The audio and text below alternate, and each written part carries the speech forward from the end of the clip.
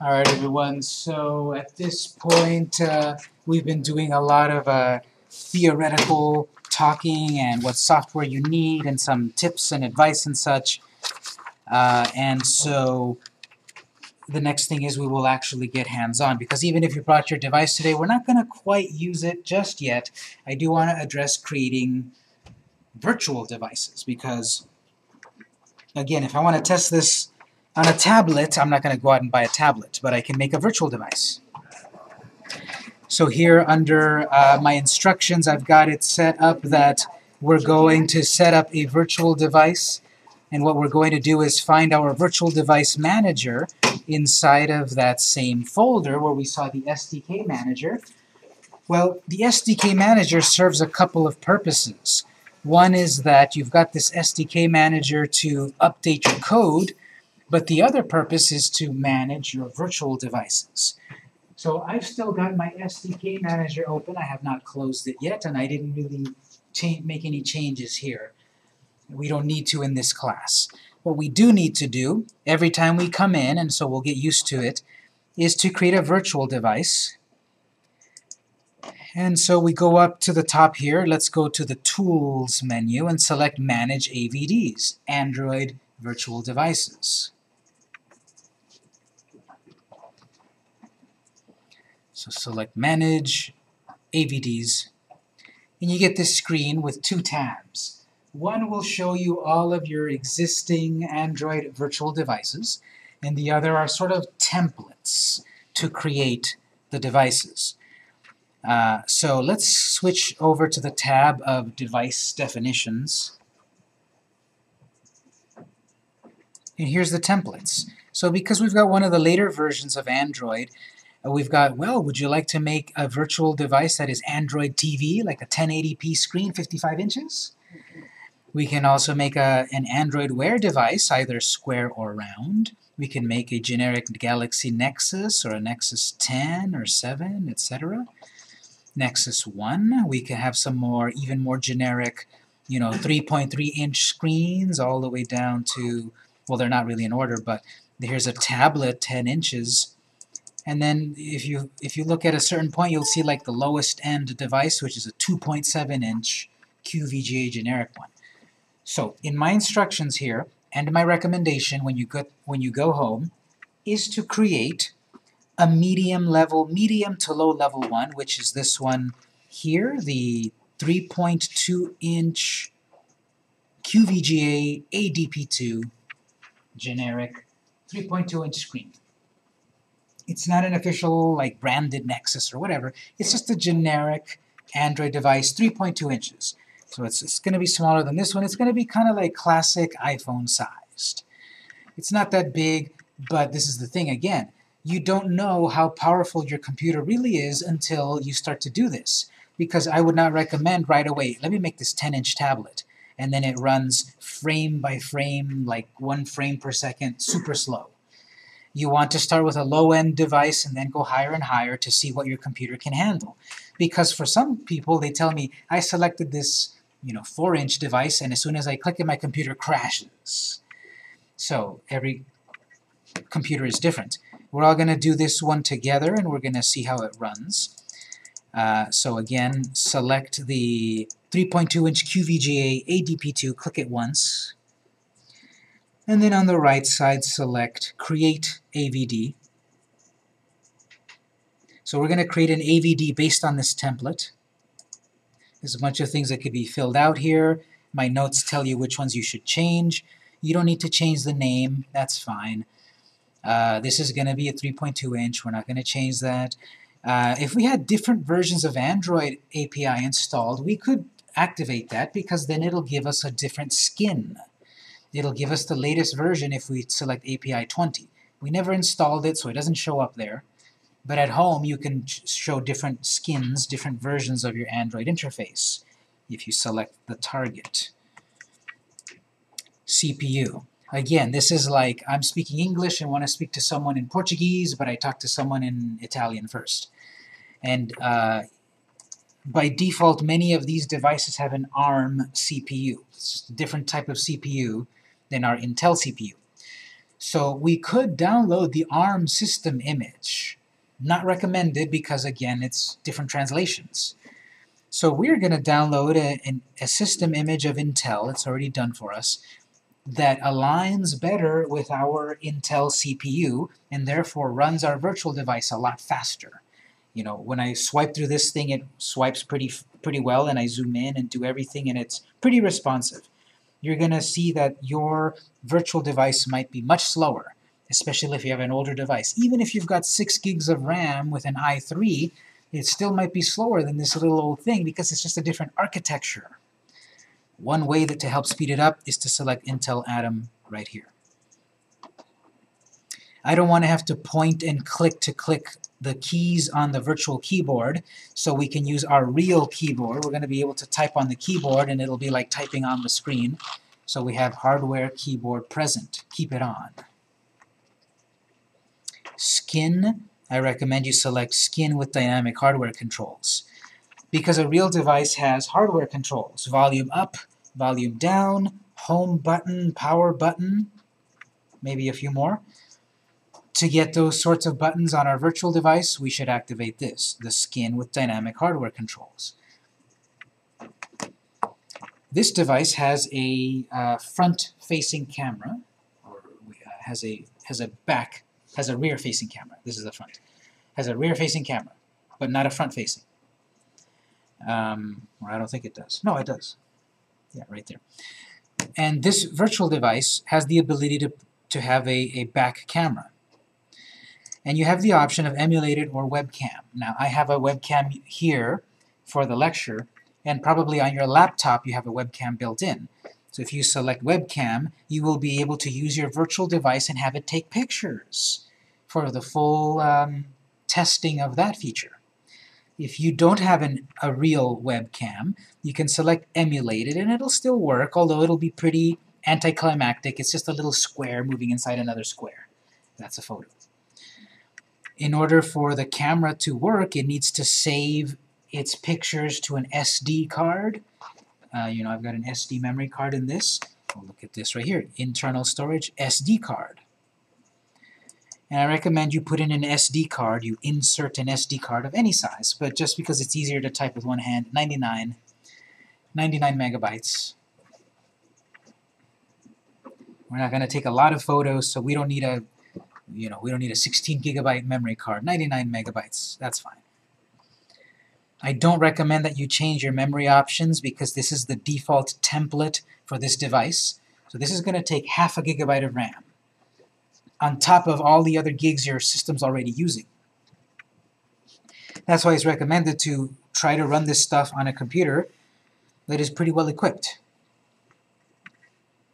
So I'm not changing the memory options, I'm not changing the internal options, 200 megabytes, pretty small, but doesn't really matter.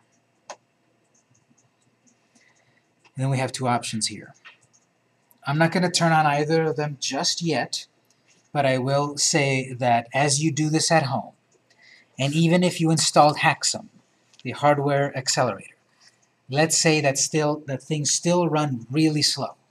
One possible way to speed things up is to activate Use Host GPU, because then your virtual device will tap into your graphics processor, not just your central processor. And I have found that does help. I've tried running a 10-inch tablet emulator without GPU and it runs not too well. And I turn on the GPU and it and it runs well. It run it wakes up. So I'm not going to turn it on just yet. This is overkill for this type of device. But for a more powerful device, you might use it. We won't need snapshots just yet, but that basically is a very cool feature where we can uh, we can work on our virtual device, install something to it, save a snapshot, and sort of freeze it as is. Then continue to work on the device and do different things, and oops, I made a mistake, I broke it. We can revert to that snapshot. It's like kind of like an undo. It'll take us back to a previous version of our app using a snapshot. We don't need it just yet, so I won't turn it on. And again, everything that I'm talking about is in my instructions here. So let's click OK.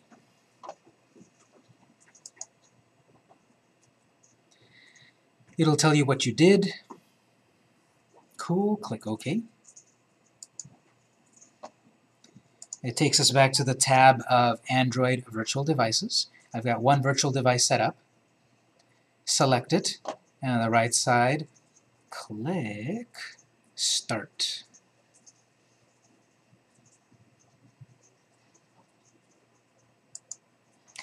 It pops up with a few other things I'll get back to in a moment. Just click Launch. And now it's going to tell us what it's doing. It's starting the emulator.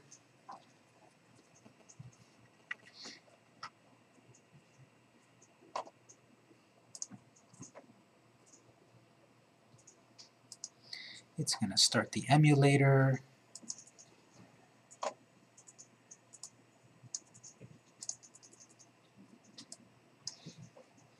You're going to wait a moment. Eventually you're going to get an icon that appears.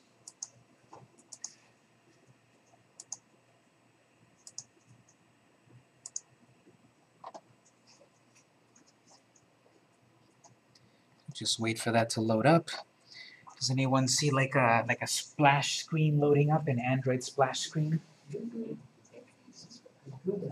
see, we'll keep waiting just a moment. Oh, you guys are further than me. So you're seeing eventually a screen that says, make yourself at home. Better let mine catch up and then I'll, I'll join.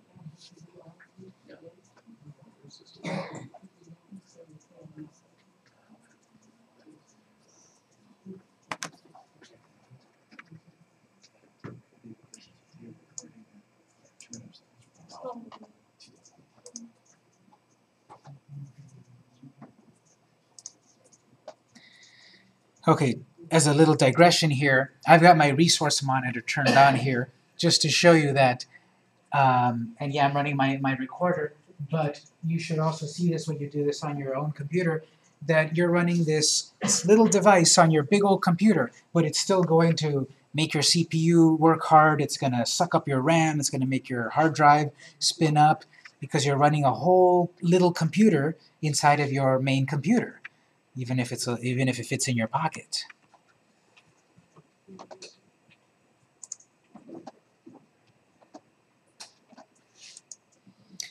So once you have your screen that it says welcome,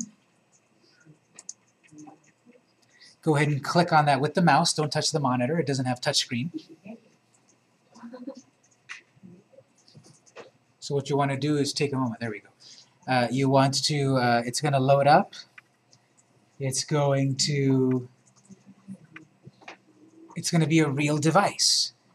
You're going to use it as if, when mine loads up, I'll show you. So on my real device, I can, I can swipe over to go from screen to screen. Well, I can do that also here with the mouse. So try this. Click and hold and swipe to the left, and that swipes to the, my next desktop. Just like here, I'm swiping over to my next desktop swipe to the left, which is click with the mouse, hold and go to the left.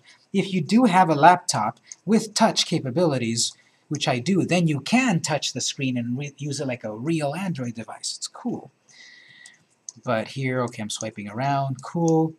On my um, on my virtual device, I've also I'm on my real device. I've got my apps. I've got a button for my apps, which here it's this little button in the middle.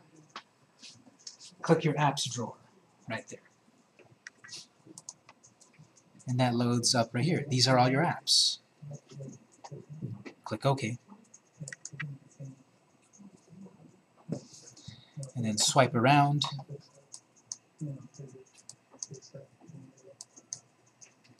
Alright, so I'm just kind of swiping around a little bit, looking at this Android device. Okay, on my real device, or even on iPhone or any device, if I want to go back to the home screen, what do I do? Press the home button, right? There's no home button here, Yes, there is. There's a home button right here. Click your home button. Takes you back to your home screen.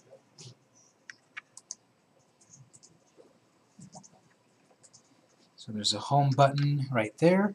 There's volume buttons right here. Volume down, volume up. There's a power button. Let's try this for a moment. Just like on my real device. Power it down, click power. The screen goes to sleep just like a real device. I press the power button here and it wakes up and what does it do on my real device? Ask me to unlock it or put a password. Same thing here. Press the power button again and it pops up unlock it. How do you think you unlock this? Swipe. But just don't slide to unlock because that's an Apple patent. What you want to do is click and drag. You know, click from the center to the lock, to the lock ring, unlocked. So imagine you've got a finger there and you're swiping it. Um, on Android, we have a, a menu button. On my device here, it's like three little lines. On another device that I have, it looks like a half sheet of paper. So on your real device, if you have an Android device, you know that you can type that menu button and you get some menu items. Same thing here, menu button. So I can change my wallpaper, system settings. So this is acting just like a real device. Feels a little bit slower for me. Of course, I'm running my recorder, so that eats up my RAM. But as you use these devices, how do you feel the responsiveness? Good, bad, or in the middle? Pretty good. And this is running a pretty medium to low-end device.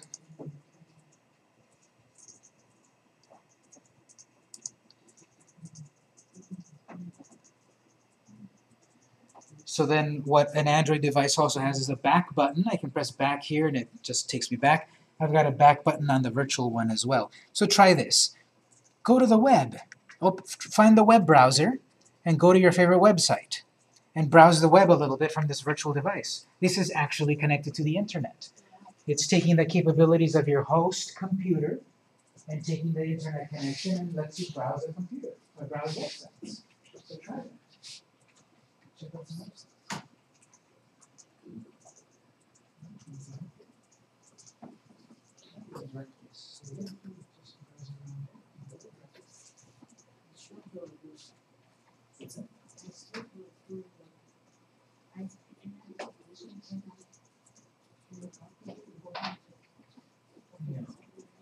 No, it's, it's not, it's not easy to take this stuff and to take it home. Should do it at home because these files are getting installed into different folders. I can show you where the folder is and you can try to take it, but I haven't had a good experience moving back from computer to computer. The list is all in the, in the handouts that we, you should get a copy of this.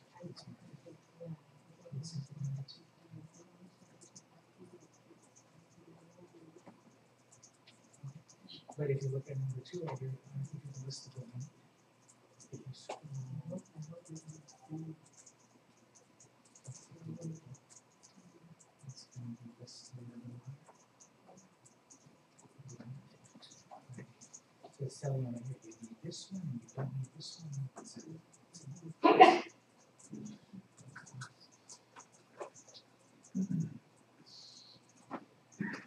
All right, so this is our virtual device. This is um, this is a, a basic virtual device, and what we're going to do is use it as we as we proceed in the class. Now, uh, it didn't take that long, relatively speaking, to to load up. But I recommend that you don't close the device. You can put it to sleep if you want, but I don't recommend that you exit out of the app because once we test our projects and we want to test it on the virtual device, we're going to have to wait for it to load up. So a little bit of a time saver, especially if you're running a more powerful virtual device, is don't close the virtual device. Usually I keep my virtual device running and just leave it on the home screen.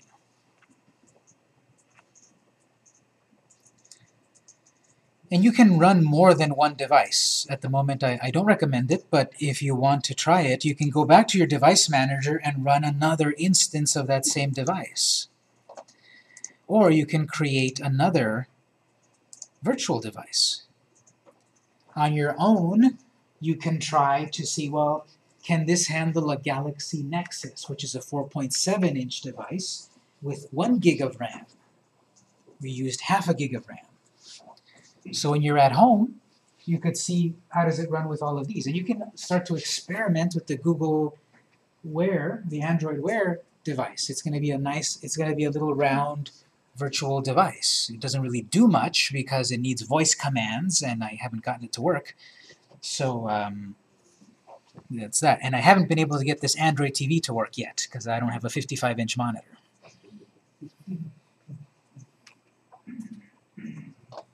But uh, any questions so far? This is one of our things that we're going to use throughout the class. Yes? Can we download uh, some apps on this emulator? Um, I don't know if it can go that far because I don't see that if I go to my apps here. I don't believe we've got the Google Play Store, do we? It didn't work for me. Um, Yeah, I, I don't even see the Google Play Store here. So um, I don't think we'll be able to do that. Uh, we can, what is known as side loading, we can't in, we can install an app that we have, but we have to do it through uh, through the through the command line. And I don't have any documentation on that, but you can look it up. But you can install your app directly to a virtual device via the command line. You can go to the internet and then go to Google.play.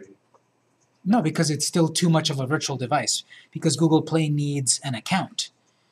And I don't know if it can let you go through the whole step. You can you can try it out for me. But I don't know if you'll be able to install real apps. What we're going to do is we're going to use Eclipse eventually. We're going to write our app, we're going to run our app, and it's going to get installed to our virtual device or our real device. And that's how we're going to install our apps to the devices.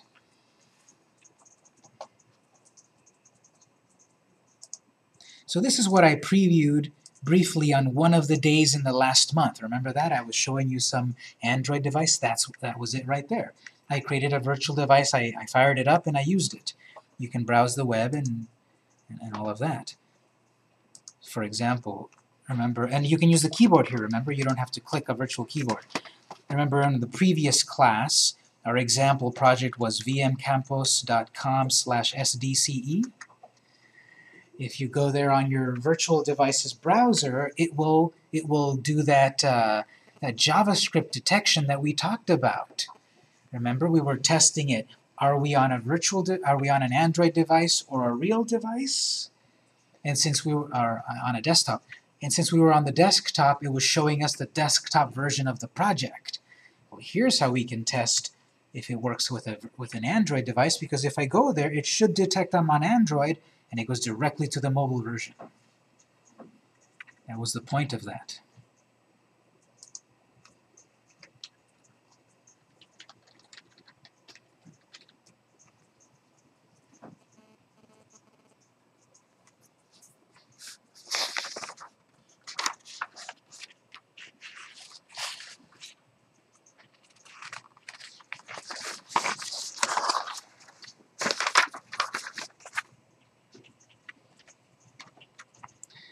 All right, so let's uh, go back to the, um, as I said, I'm not going to close my virtual device. I'm just going to take it home, click home, and then maybe minimize it. Just get it out of the way. You've got bigger monitors than me, so maybe just put it in the corner. No one puts Android in the corner. Then we'll go back to um, our virtual device manager here. Just close the, the virtual device manager. We want to free up some RAM because we're going to be, as I said, we're running a mini computer inside our computer. So we're going to close the virtual device manager, close that. That takes us back to the SDK manager. We're done with that. Close that. And I'm going to leave my virtual device in the corner here.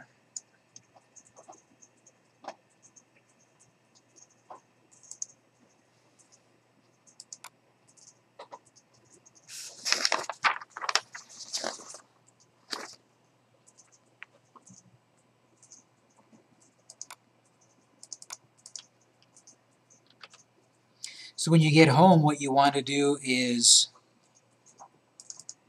is try this out on your computer. Create that virtual device, run it, and compare. You know, use your memory to compare. Is my home computer's virtual device running as smoothly as the one here? We've got i5s, I think, 4 gigs of RAM or so, and they seem to run fine. So test it on your home computer. If it doesn't work, make sure you've installed HAXM, and if that still doesn't run very well, try using that host GPU checkmark, which we'll look at again to remind you. But what I want to do now is provide you another PDF with more instructions.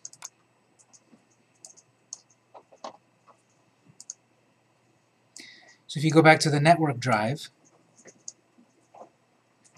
I put in a brand new file there, number 3. I forgot to convert it to Word, but hopefully that will cause no problem. Um, go back to your network drive and then get sheet number 3. And again, you can print during the lab time if you want these on paper. And what we'll talk about here,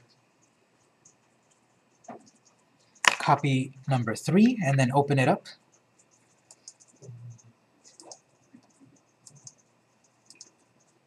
So once again, uh, if you're new to the class, you get that by going to Computer Window,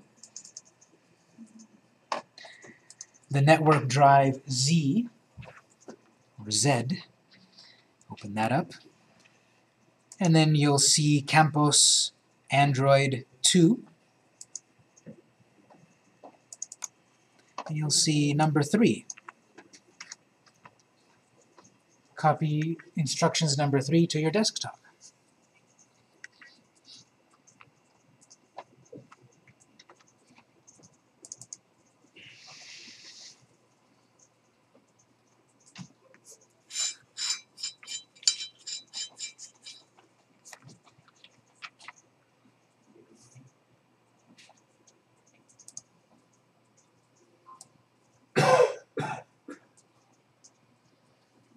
So this almost fits on one sheet, but it's a few more things here. So now we're going to talk about Eclipse.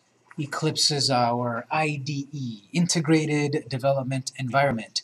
It's where we'll write a, we'll, where we'll write out code and then deploy, I should say where we'll write our code and then deploy our projects to real or virtual devices. The following steps make editing HTML easier. Um, so let's actually look at what Eclipse is. Back in the same folder where we, back, back on our ADT folder, so it's on the C drive, the ADT bundle folder, it's got two big folders, two big things. All of the SDK, all of the source code, the virtual device manager. You want to go back into that. And then we've also got Eclipse. So again, if you've already got Eclipse and you install this, it's going to give you a different copy of Eclipse that does not conflict with your current Eclipse. Um, so open Eclipse, Eclipse folder. It's in the same folder as the SDK manager. And then we get eclipse.exe and again this didn't install itself to the to the to the control panel or to the start menu. It's in that folder. But what you could do if you're on Windows you can right click and you've got the option of either this is Windows 7 but you can right click and pin to the taskbar or the start menu. So if you do select pin to start menu if you right click the eclipse.exe the executable and then um, pin to start menu. Now you'll have it in your start menu. It doesn't it doesn't get there automatically. Or you can put it in the taskbar. It's down there.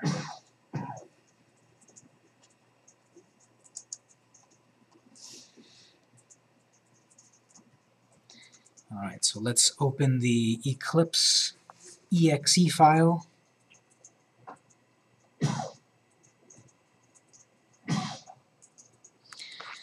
The first thing that pops up here is where would you like to save your projects? So, the way this class will work throughout the, the month, throughout the semester, is that we'll be doing some work, and you probably want to take the work with you and keep doing it at home. What I'm going to do also is my work that I end up with at the end of the day, I'll put it into that network folder with the date. So you can start on my project next time you come back. Or you can take my code and double check it because you might have you might have a problem with your code. So this, pay attention here, this is where it's saving your project.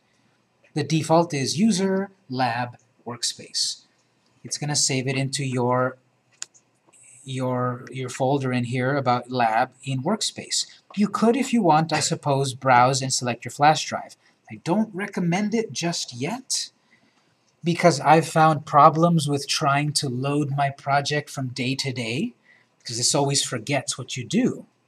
So even though we tell it, save my project on my, on my, on my flash drive, and when we come back next time and tell it again, use that folder on my flash drive, there were still other little configuration files that were not saved when we went to your flash drive. So when we come back day by day, it's still going to get a little confused. So I don't recommend to tell this, save it to my flash drive. What I'll recommend is at the end of the day, I'll remind all of us, let's go to the workspace folder and copy the project to our flash drive. It's a little more cumbersome, but obviously on this lab it's necessary. When you do this at home, you do this one time and all your projects get saved there, no problem. So I'm going to keep it on the default. I recommend keep it on the default. Click OK. He's going to load up Eclipse version Juno. Anyone get that joke? Anyone read Star Wars The Expanded Universe? Nope. Never mind. So, here we get Eclipse. This is our editing tool. Uh, at the top it says uh, we're running Eclipse on top of Java. Again, Java and Ant and stuff is in the background. We never really deal much with it. But it's behind everything. That's why it's important to have this set up. So we've got Eclipse, and then we've got this screen that has a lot of panels and sub-panels and windows with sub-windows, and there's a lot to do and look at with Eclipse. It's very easy to get lost. As a quick overview, we have, of course, a menu at the top, File, Search, Run, etc. File menu, no problem. We've got a row of icons, these, these default icons. We can create projects, save projects, print code, etc. Notice here, at the, at the top, we've got two buttons here. One is the Android SDK Manager and one is the AVD Manager. So you've got quick access to your Virtual Device Manager and your SDK Manager. So you can open Eclipse and then select to open your virtual devices straight from here. Although this is what I'm saying about things are rough around the edges, uh, why does it have the wrong icon? I clicked on that one and here's the icon, but that's that icon. Oh well, maybe in the next version they'll fix it. Although they haven't for like five. So a bunch of rows of icons. Um, we're going to look at this in detail later, but we're going to have code, we're going to write our code, we're going to see our result. In the previous class, we were using Notepad++ to write our HTML code, and in that class, we went to run, or launch, or whatever, run Firefox, and we saw the result. Here, in Eclipse, we're also got a run, and we've, we've got a handy button, run. So make a note that there's a couple of ways to run our project. And here we're going to be able to select run on a virtual device, run on a real device, run on my 10-inch device, run on my 4-inch device. It's going to be under run, and we're going to list, have a list of run configurations. Or, handier shortcut is right here, this little run button with the run configurations. Nothing here yet, we haven't gotten there yet. On the left side is the Package Explorer, which is basically a list of all of your apps. Every app that we're working with, we can work with more than one. They'll all be listed here like folders, like a, like a normal Windows Explorer folder tree, like this. All your apps will be listed right there, and all of the files. You can close panels, rearrange panels, if you close the Package Explorer panel, it goes away. If you want to bring it back, any panel that you close, you can bring it back by going to the Window, Menu, Show, View, and bring the panel back. So oops, I closed the net in the page. The Package Explorer, people do this all the time because they think they're closing their project, but they close the whole panel. You can get it back from Window, Show, View, Package Explorer.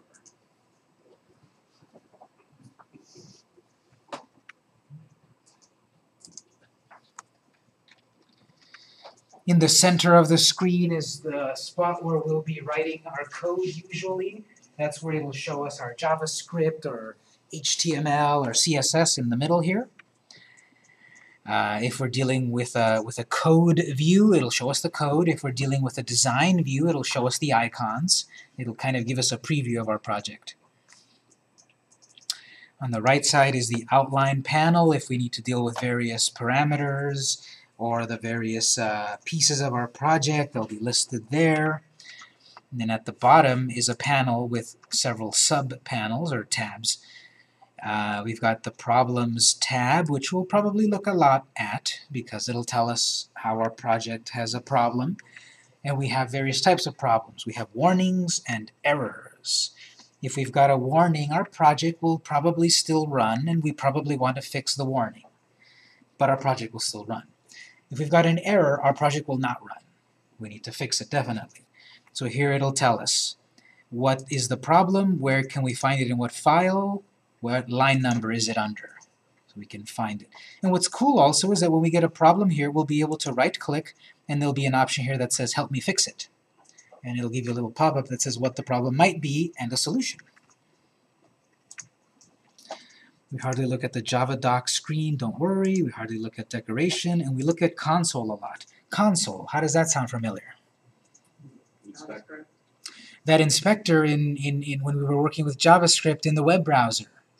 So if we write something that says console.log, you know, uh, alert or whatever, we would see it there we would, it would pop up there kind of like the console in the web browser. Um, what's also useful here is that this gives you feedback as to what your project is doing. So when we're when we go to run and we launch the project, I want to keep an eye out down here because it'll say compiling HTML, compiling whatever, installing app, launching app, error, or success. So the console here will tell us will give us good feedback. That's a general overview of the different screens of Eclipse. We're going to create a basic Android project in a moment, and then we're going to run it in the emulator. Actually, on my instructions here, I've got a section about setting up a little bit of a plugin. We don't quite need it yet, so I'm going to skip it. There's a section here which we will do right here uh, right here. There's this section, we'll, we'll do it, not just yet. If you did it, that's fine. I'm not going to do it yet. But this is adding a plugin to make writing HTML code easier. Because Eclipse can write just about every kind of code. Java, C++, PHP, HTML. But just like Notepad++, what was the big benefit of writing code in Notepad++? Colors. Color coding, code highlighting, code completion. By default, Eclipse does not have that built in for HTML. It has it for other languages.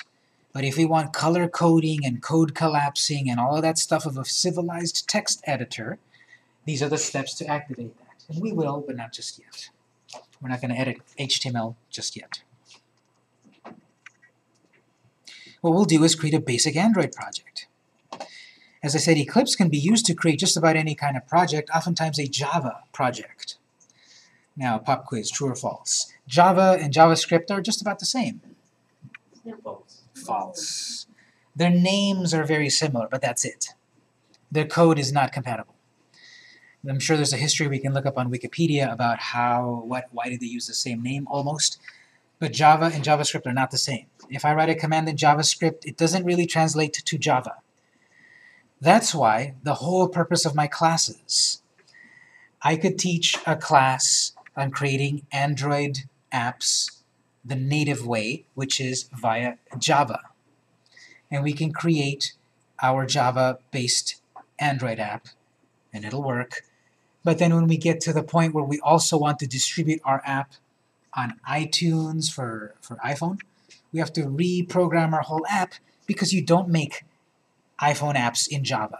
You make them in Objective-C, completely different language. And let's say we learn Objective-C and spend months on that and then, okay, reprogram our app from Java because the native programming language of Android is Java. And now I've learned Objective-C, so I'm on, I'm on iPhone also. And I want to tap into that growing market of a Windows phone. I have to reprogram my app for C-sharp. another programming language. So that's why I'm teaching these classes in HTML. We're using this more universal language. It has its pros and cons. But via other things we're going to learn, specifically Cordova, we're going to be able to translate our code, HTML, CSS, JavaScript, into Java, basically. And then our app will become an Android app.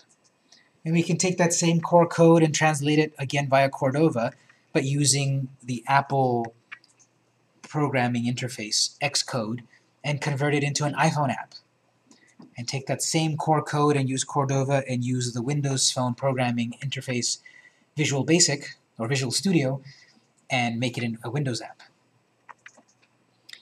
But first we're going to start off making a very basic Java-based Android app. So let's go up to the File menu, New,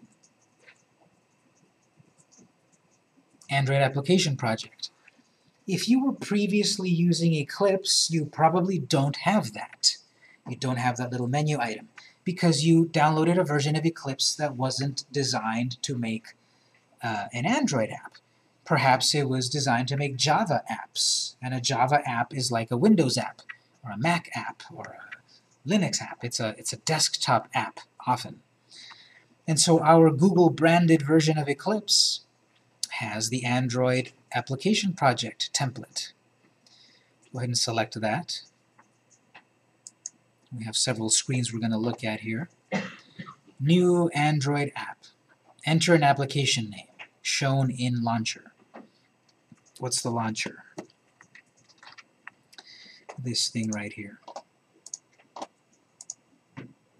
On my virtual device. These are my apps. They all have a name this is where we type that name, application name. And notice you can put your mouse over these info buttons and they give you some info here and there. But anyway, at the moment we're just going to practice and make a project called test 01. I can use spaces, I can use capital letters. I should use capital letters unless I'm going for an E.E. E. Cummings vibe, I suppose. And so we're using capital letters, application name, that's what's going to appear on the app launcher right here. So you can write My Amazing App by Victor Campos. But uh, do you think you're going to have enough space for it? Even with a 10-inch tablet. That's why you see so many apps out there with like one-word long names or a couple of words or something that fits within the space and I can't tell you how long to make it because again we're going to deal with the universe of Android apps, uh, Android devices 3-inch devices, 10-inch devices, everything in between. So we're just going to call this for the moment test1 that's the name that appears below the icon. Project name is the name that appears internally here in Eclipse when you've got a bunch of apps set up. They're going to show up here and notice it automatically writes it for you without the space. So no space on the project name. Package name. This is the name that Google Play or Amazon App Store will care about. Because we can have, and we know that there are many calculator apps out there, right? You can download many calculator apps, many uh, note-taking apps, many tip calculator apps. There's lots of apps out there that have maybe even the same name, calculator. Well, how can they all be uh, named calculator if, if they should have a unique name? The package name is what keeps them unique. There might be 10 calculator apps, but there's only one calculator app called campos.com, uh, .victor, com.victor.calculator. So here what we need to write is a reverse URL, victor.com. We write it com.victor. the name of our app. So let's write our last name here. You don't have to have a real website with your name. You can have a .net, a .org, whatever. Doesn't quite matter for us today. Eventually it will. But this is just some sort of um, identifier for the hundreds of, how many are there? Hundreds of millions of apps, Android apps. out there. This is to identify your app from everyone else's. And a way often to do it is the name of your website. If you don't have a website, you can make one up. We're making one up. We're putting our last name. But there could, there could ultimately be the problem that there's someone else that has that website, right? It could, yeah. So when we deal with this later, more in the distribution aspect of the of the of the course, uh, we do need to address that. That um, you know, get a domain name with your name. Like I often make my apps with my company name, which is PMD Interactive. No one has that. We bought it, and so our project is com.pmdinteractive. You know, um, portfolio or whatever the name of our app is. We all need a unique package name there. And notice that it ends in the name of your app, no spaces, no capitals. And here we deal with, well, what uh, range of Android devices are we going to deal with? Because there's a big range of devices. We can go look at a chart to see what the demographics currently show, but there's a huge uh, uh, couple of pie pieces about what version of Android. So here we're saying, at minimum, our app can run on Android API 8, Android 2.2, codename Froyo. And at the maximum, it can run on Android API 21 4.x, which might eventually be 4.5 L preview. And we're going to use the code base, the source code, to compile with Android 4.4 KitKat API 19. So we're going to be able to target a huge range of devices.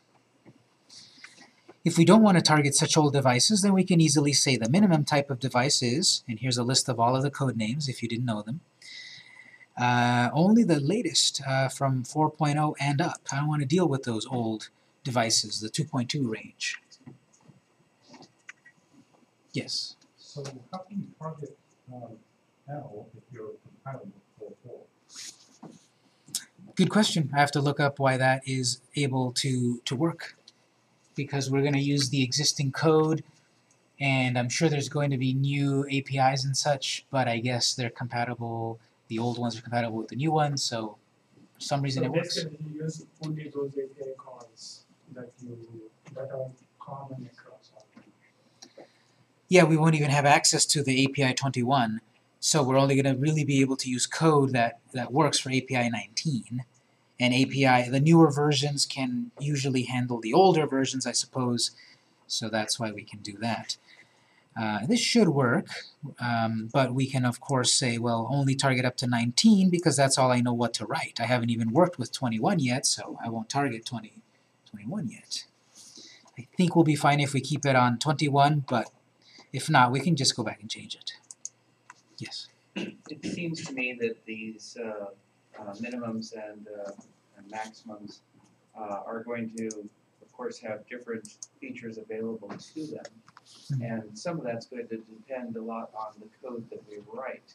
Mhm. Um, Ultimately, you know, if we use a feature, oh, well, that's gonna suddenly change our minimum from being uh, Froyo to, uh, to something much more recent. That's true. And so we'll, uh, it seems very prescriptive at this stage, but how do we, uh, how do we manage that for the purpose of, uh, uh, uh, publishing the, uh, uh, the app? That really depends on what you're trying to do with your app.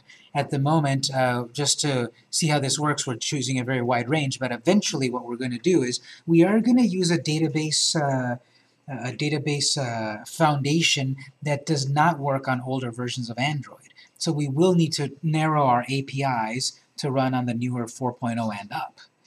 So we need to decide what are we going to do with our app and what what code, what APIs am I going to use to know how low I can target.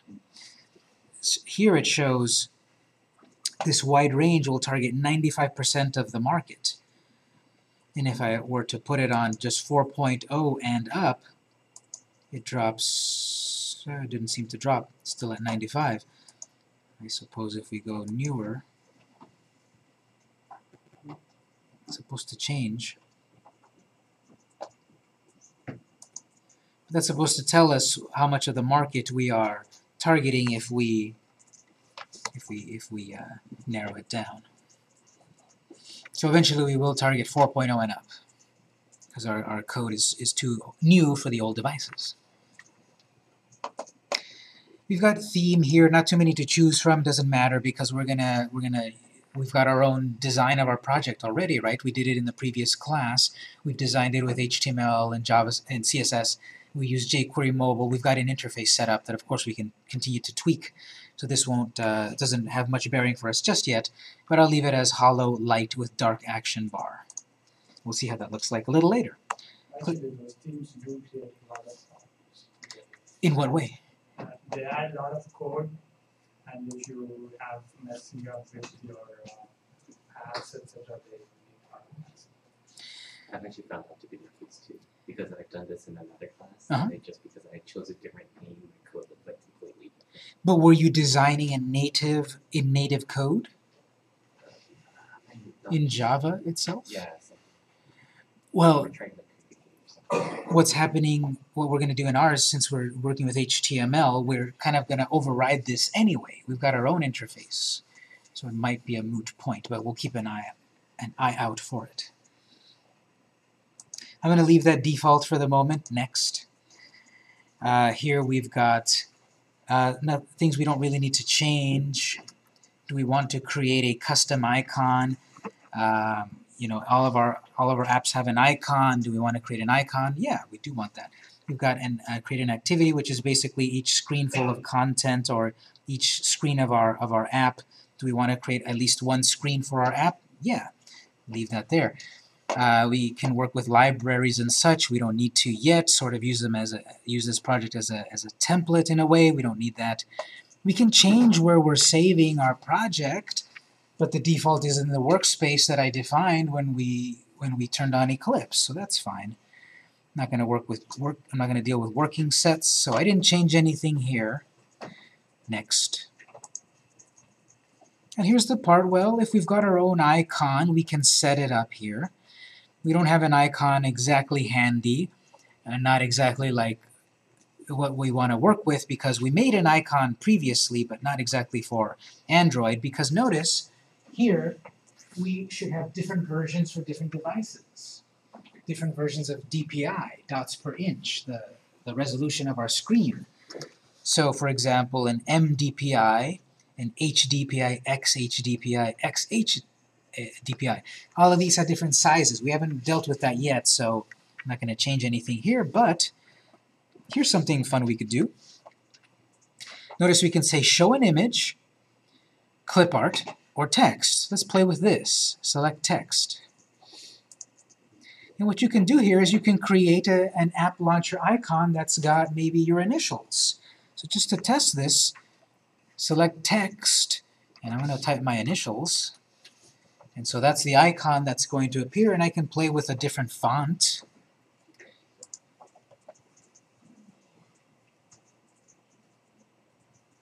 I'm going to use Bauhaus in 93. And then you can even do this. I'm going to put a circle behind it.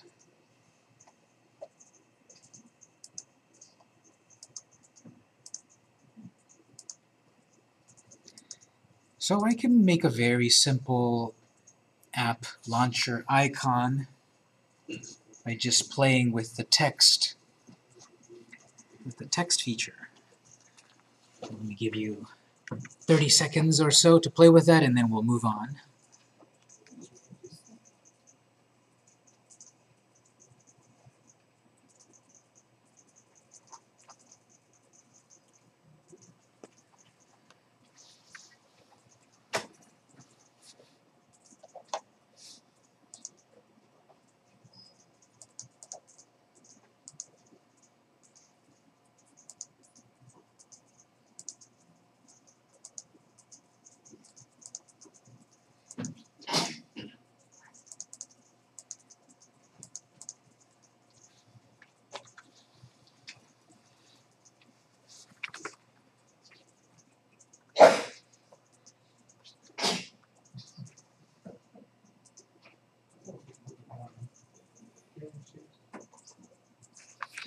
Cookies, obviously we could spend a little time on this, but whatever you have now is fine. I'm going to click Next. We have some templates to display uh, uh, templates uh, to uh, to give a, a style to our project. Blank activity, notice it says it creates a new blank activity with an action bar. So you can have a bar at the top to select actions. Blank activity with a fragment, empty activity, full screen, etc. So we've got a few kind of uh, templates that we can do our project at. We'll don't really need to deal with any of these, but on my notes I'm suggesting for the moment just select an empty activity. I think empty is more basic than blank. So select empty activity. Next. And if we wanted to change the name of the activity, that screen, because we might refer to it in code in other ways, we can do that here. Uh, this is the class that is being created, but defaults are fine. Don't worry, I'll select Finish. So what's going to happen here is take a keep an eye out on the bottom right corner of Eclipse. You're going to get a little bit of feedback, loading data, building workspace etc. Perhaps you also get in your console some messages here. I'll deal with them in a moment. Just let it load up. Carlos, which activity did you select? What's that? Which activity? Oh, I selected the uh, the blank activity. So empty activity. Sorry, empty activity. You can press back and select empty. Yes. What is the little bar there with the M out of M with retraction? Uh, what's that? What's the question? The. It was at the bottom, next to where you were talking about. Very, very bottom. What did it look like again? M of seven sixty-one M. Oh, right here. Yes. Not never been used. I don't know. Yeah, I didn't hear your question. So you're saying what is it? Yeah, what is it? Yeah, this is how much memory is being allocated and how much is being used at the moment Of So the- click- of your my- system. Of my system? Yeah. What it, the app will be using? Of uh, of your whole system. It seems to be taking, uh, in my case, 761 megabytes for itself. And then right now Eclipse is so far using that much. So this is what Eclipse needs. This isn't exactly what your app needs. Okay.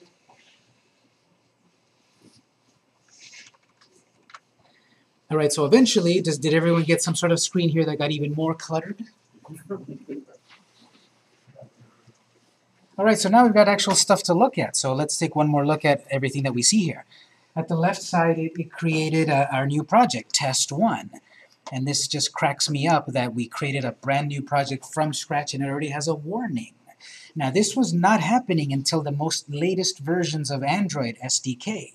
When I was teaching this class, you know, I think at the beginning of the summer or and the on the spring semester, when it was a when it was a couple of versions back, this would not happen.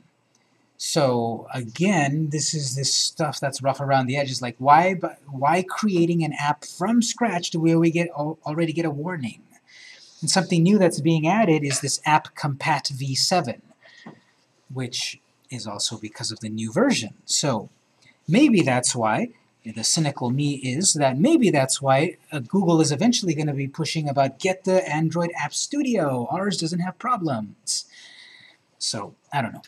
We've got some some warnings with it. Remember, warnings you can still run the project, and you might see some more detailed warnings under the console here.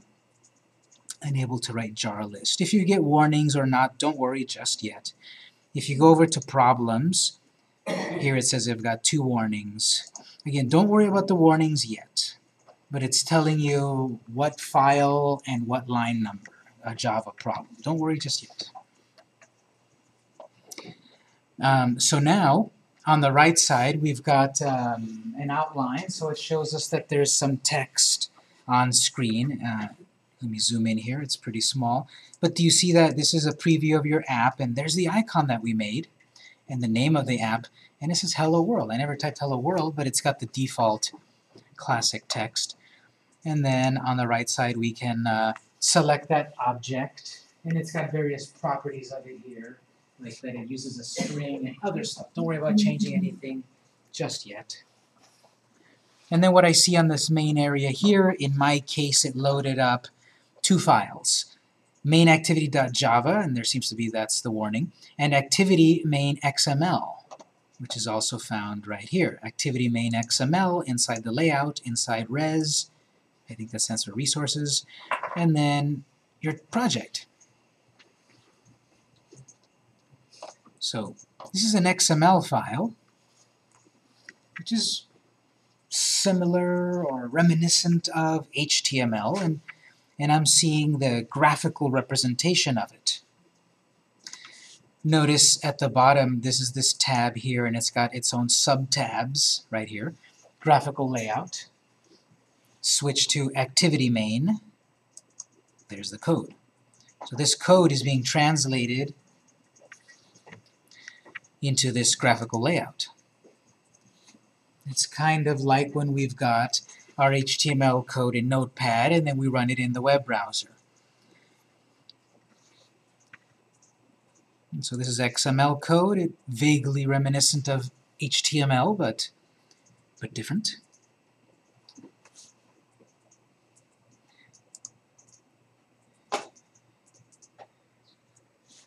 So let's say I wanted to see this project um, in my virtual device or real device. So far we've only got a virtual device. So let's go, through the process of actually running it. Notepad was easy, we just went run launch Firefox. Here we need to create a run configuration. Because we can deploy the same project in a 7-inch tablet and in a 3-inch phone. So we need a run configuration. Um, if you're looking at my notes, we've done the section of create basic Android app, and now we're about to do run create a run configuration. So here's what we need to do. Um, I would recommend up here under, remember you can either do it under the run menu or under the run icon. I think it's going to be easier to do under the run icon, but under this triangle next to run, you want to select Run Configurations.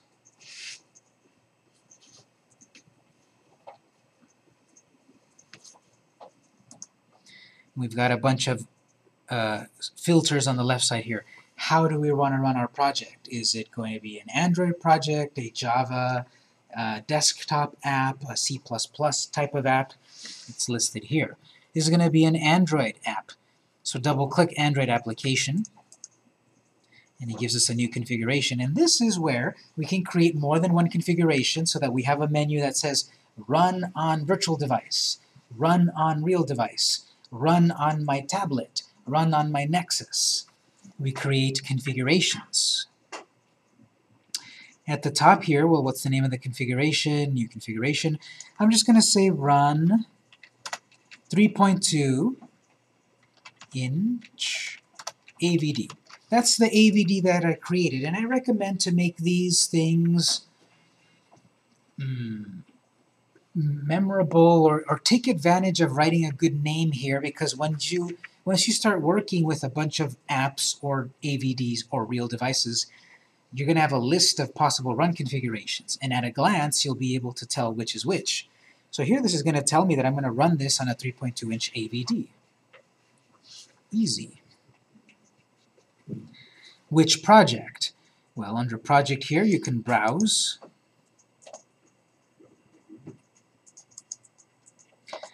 We've only got one project, so double-click it.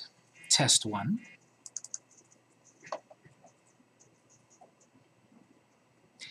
And then you've got tabs here. Android, Target, Common. Switch to Target. By default, it says automatically pick compatible device. I don't like that because it never guesses what I want. I might have a, a real device plugged in and a virtual device because I'm testing two different things. And it never seems to know which of those two to choose. I want it to let me choose. So what do you think we want to activate here instead? Always prompt. Ask me, when I run this, what's the right device? Yes, we could activate it here, but again, we could have four AVDs. So select always prompt to pick device. At this point, go ahead and click apply, and then run.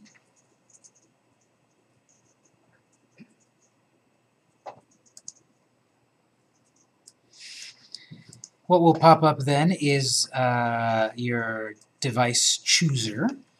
If we had more than one running device, either virtual or real, they'll be listed there. Once we do next time when we set up our real device, it'll say right there, um, LG 730. So I can select my real device. It's not set up, so it doesn't. If I have any uh, virtual devices that are dormant, I can activate them here, I can run them, and then wait and then act and then select them. So this screen will allow you to switch between devices. That's cool. Let's say over and over we're going to use this device, so here's a time saver. Use the same device for future launches. I'm not going to turn it on just yet, but keep that in mind. That way I can easily go back to the menu up here. Run AVD, run AVD, run AVD. And it won't pop up here anymore because it knows that I want that AVD once I pick it the first time. In any event, go ahead and select it. Click OK.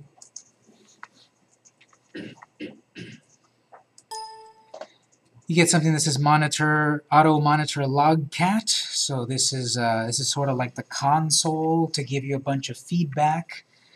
Uh, the default is yes, but I'm going to select no. If you already selected yes and clicked OK, that's okay.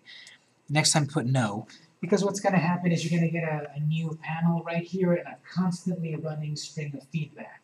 Everything that your device is doing, every click, even things when you're not interacting with it, that it's connecting to the cell tower all of that. Just a constantly running string of, of feedback. So I've selected no, don't monitor it, I can look at it elsewhere. Click OK. Switch to your virtual device. It doesn't pop up automatically, you have to switch to it.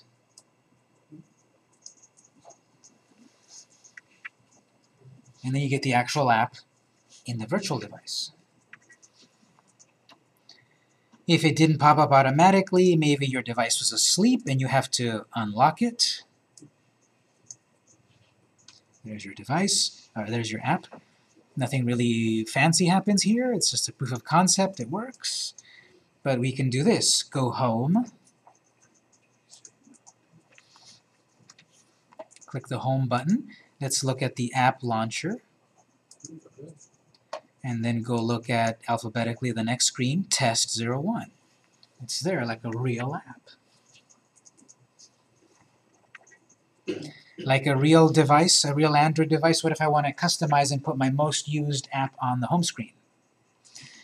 You can tap and hold, keep holding, and then choose to put it on your desktop, your home screen. There we go. So now my virtual device has the app installed and it's on quick launch on my home screen. If I want to remove it from there like a real device, tap and hold it again, put it up to remove. That just removed it from the home screen. It's still in the apps here, but you could, in here, tap and hold, uninstall, just like a real real app.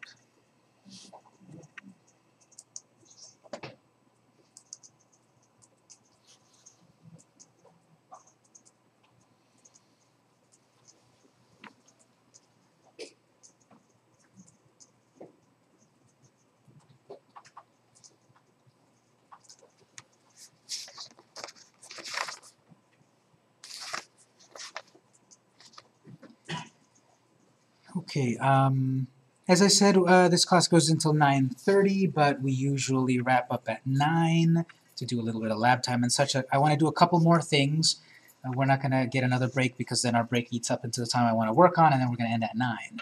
So this will be a little bit more to do here. We've already gone an hour and ten, but a little bit more.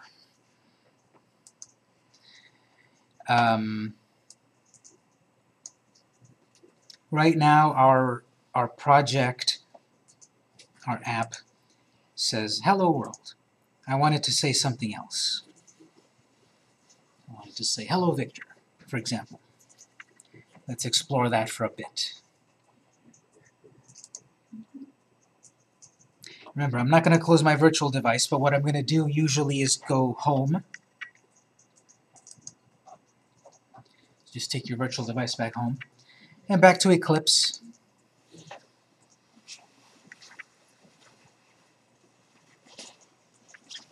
I want to change that text. And what this is telling me, if you, if you select it, the outline over here is telling me this is a string. In a sense, it's uh, sort of a variable in that I have a little container that holds that text. I could grab one of these widgets over here and drop a text widget and just write my text. A better way, though, is to use a, a variable. Just like when we talked in the previous class, we can use variables to hold content. That's what's been set up for us here. We've got a variable called hello world. It's a string, and that's the text inside there. Let me show you where you can find that. On the left side, in our Package Explorer, inside of the res folder, that should already be open. If it's not, go ahead and open it. And then you'll have a folder called uh, values. Open the values folder.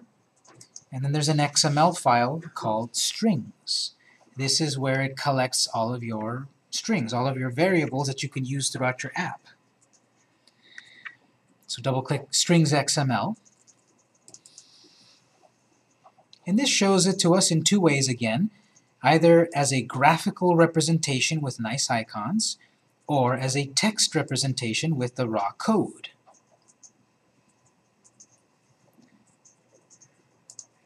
So let's look at both. Everyone sees this as resources. I wish that one would call it, you know, graphical view, code view, but the, these tabs have different names often. Notice if you if you if you're in resources and you click once on the hello world string, it says the value inside of it is hello world. Don't don't change it yet. But if we want to look at the same data in the in code, it's switched to strings down here. Select your strings tab at the bottom. Here's your code. And let's say I wanted to change the line number where that code is at. By default, Eclipse is not showing me line numbers. Let's fix that. So switch to your strings, the, the code view. And then on this gray area here, right-click, show line numbers. We'll have to turn that on every time we come in, but this is where you find it. Right-click on the gray strip there, show line numbers. There we go. So line 5 is the text representation of the pretty interface right here. And notice what it's saying. Okay, it's XML, so a string tag was invented because XML is basically about inventing tags as necessary and, and using them as necessary.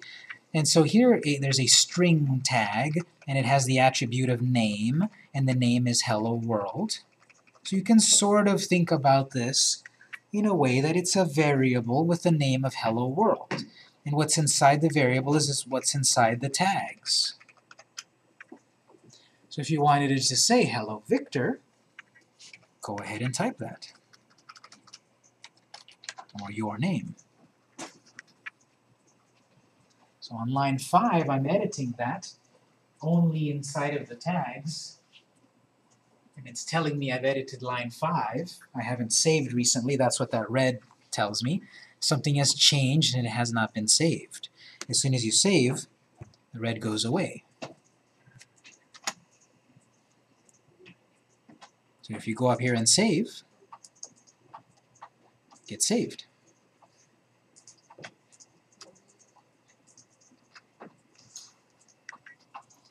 So, okay, we added the code easily. And the way the reason I did it here is because to avoid an issue that often happens to beginners of these classes, which is this. If you go back to the resources view, beginners often do this. You select the hello world and you change the name. That's changing the variable name. That's changing the name of the container, not what's in the container.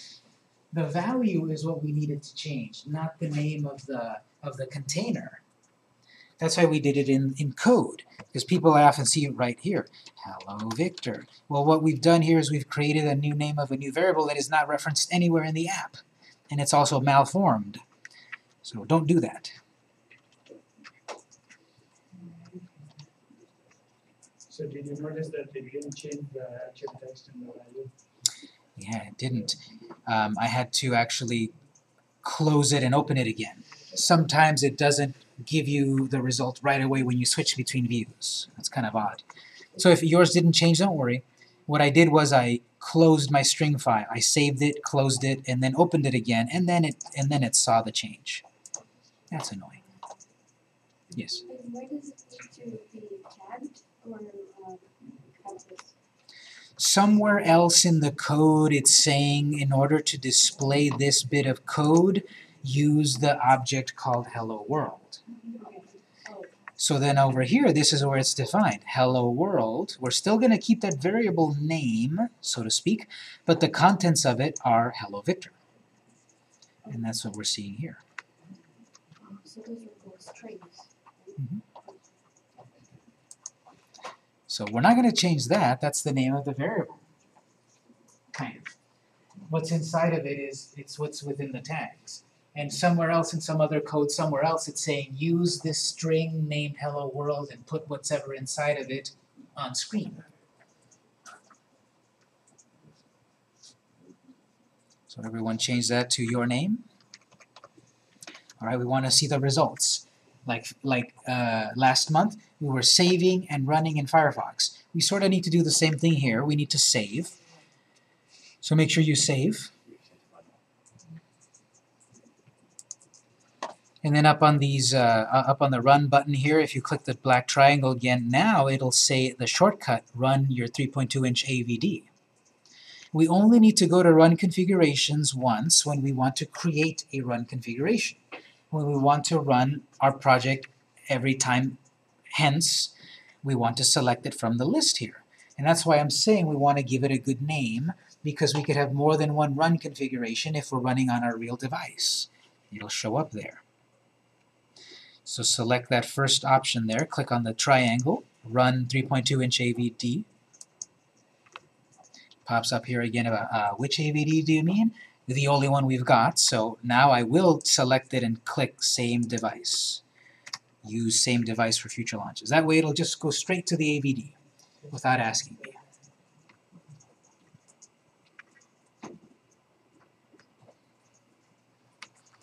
So make sure you select the AVD, activate Don't Bother Me again, click OK. Switch to your AVD.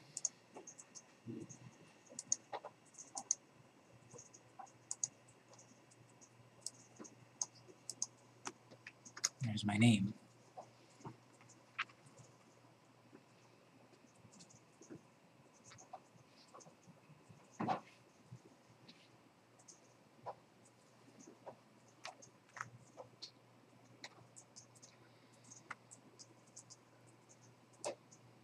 So the whole point of today was to talk about what is the software we need, and there's a lot of it. Download it, set it up, there's a lot of steps to set it up. Once we've got all of that foundational stuff, then okay, let's actually get into Eclipse, which is where we're going to do most of our work. Then we created a very, very simple Android project. You can play with other features here, put in a text box and one of these other widgets and just play with it if you want, and then run it. Um, just to get acclimated with Eclipse, we're going to use it extensively. Very important to figure out, well, how do I actually compile my project? How do I run it? We looked at the run configurations on a virtual device. We created virtual devices, the importance of that. and uh, a little bit about playing about this is what is an Android app. All of these folders and subfolders and icons and XML files and Java files and classes and all of that, that's an Android project written classically in Java. Uh, when we come back and we keep working, well, we're going to take what we've learned previously and start to write HTML. And that HTML will be translated, in a sense, to Java. And it'll give us our Android app written in, in HTML. Because uh, I forgot to do this at the beginning of the class, but let me check. How many of you have experience in any programming language? Pretty much everyone. Trick question if you took the previous class. How many of you have experience in Java programming language? Pretty good amount of people, uh, but still very low percent. How many have experience in HTML? Well, everyone if you took the previous class. Before you took the previous class, who had experience in HTML? Still a good show of hands there. So I'm concentrating on this language that a lot of people have had experience with already. Uh, we just need to still learn some more stuff, specifically Cordova, about what is this framework that will allow us to convert our HTML into Java. And so there's still plenty to look at and to learn. You know, I didn't touch on a variety of things. I never dealt with that warning. Don't worry about it. This is just a proof of concept app to show you that, yeah, we install it on an Android device. Your homework is when you come back next time, make sure if you're going to have a real device, bring it and the cable. I don't have any to let anyone borrow, so make sure you bring your cable. It's standard USB cable. Bring it, and then we'll talk about setting up our device. I have a whole sheet of, sheet of instructions. I suppose what I can do is put more of my instructions there if you want to start looking at them, but again, I'm going to go through them step by step, get into the pitfalls and all of that. Next time we are going to talk about setting up a real device, and there's a whole page and a tenth of instructions there, because that needs some setup. We're not going to jailbreak your phone or anything like that, but we need to set it up as a developer device. By default, it's set up as a consumer device, which assumes that people are going to go to Google Play and download apps. We're not going to do that. We're going to install an app directly. So we're going to need to poke around a little bit under the settings and activate some things. We're not going to jailbreak it, but we are going to change it to a developer device. We're going to need to install some USB drivers, special USB drivers. And then when all of that is set up, then we can have a run configuration to launch my, my, my, my LG 730. And we can see our project in a real device. And you can tell your friends and family, look, I'm an Android developer. There's my app. It says Hello World. But, you know, that's coming up. So any general questions at this point? Yes. On this test 01 app, when we change the string and then we saved it, if we didn't do the run, if we just switched to our virtual device and double click on the icon, would we have the new Nope. change? No, we wouldn't have. Every time um, we make a change, we need to compile our app again. We need to take all of these disparate, these disparate uh, files and crunch them into one file, a dot .apk file. And then that file needs to be transferred to the virtual device and installed because it's the latest version. So that's what the run does. That's what the run does. There's no live automatic save and change something here and check the result. You have to run it. And so when you run it, it, it does a couple things in it. It, it actually compiles everything and then transfers it to the virtual device. And then it also double clicks the icon and opens. Yeah. It reopens. Exactly, and let me show you that here. Uh, you may see it in your console or not. Let's look at this for a moment. Switch to your console, and if you don't see anything meaningful there, you want to then activate here. What sort of console output do you want to see? Go to this icon that looks like a little monitor, click the triangle, and choose Android. So give me Android output. And now you should see a bunch of stuff you never noticed. If you make that larger, it tells you minute by minute, second by second, what's been happening. So this is the last thing that, that I was doing right here. Uh, ADB, uh, okay, so we're launching Android, ADB is running normally, performing this, we're launching that app, see there's the name that we wrote, unload, uploading it, the test APK file onto the device, this emulator, we're then installing it, success, we're starting it, we're tapping it to start it, there's a, some sort of warning there we have to deal with, and then actually starting the app and it, and it loads up the main screen. So yeah, that run configure that run does a lot. That's why it's important to set up the run configuration, and we'll be doing it several times. Uh, that is creating different run configurations and using it several times. Yes? That's where you found the scripts file again. Yes, uh, the strings? Yes, it was right here. Um, in inside of your app, there's res folder, and then in res there's values, and then you'll find strings.xml.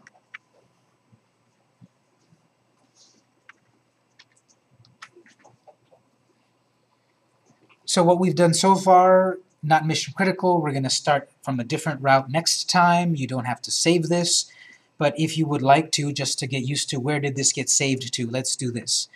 Uh, I'm going to close these tabs. I'm going to close any file that's open. I've closed my files, but I've still got apps open. Notice these folders are open.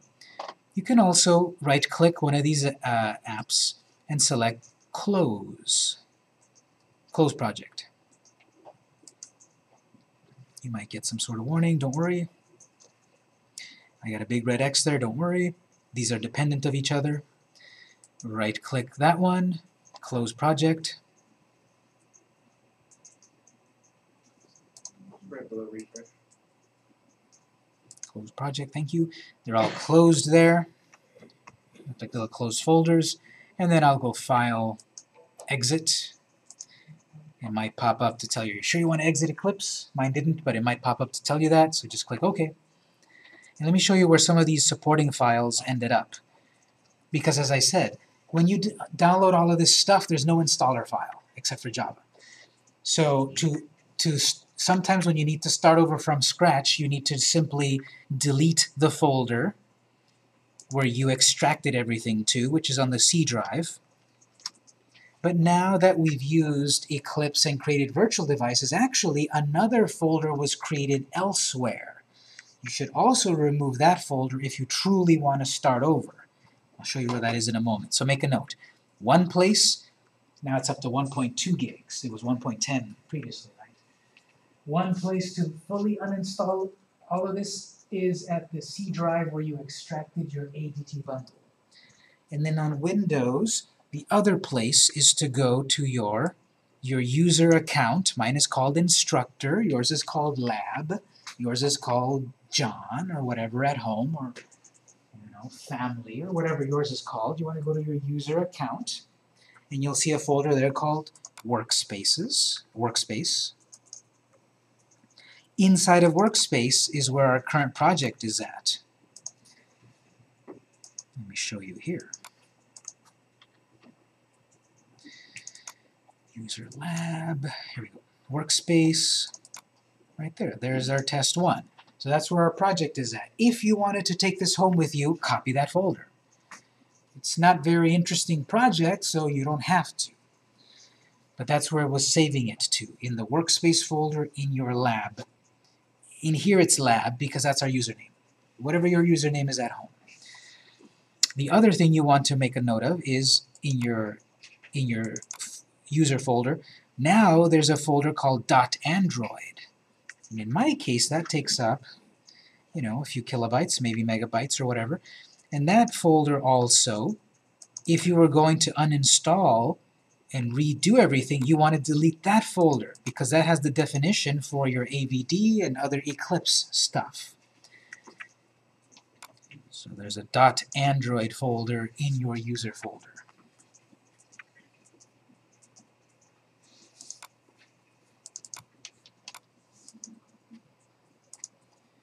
See, that's, oh, there we go, 500 megabytes. So the virtual device itself, because it needs some uh, SD card memory space and internal space and RAM and all of that.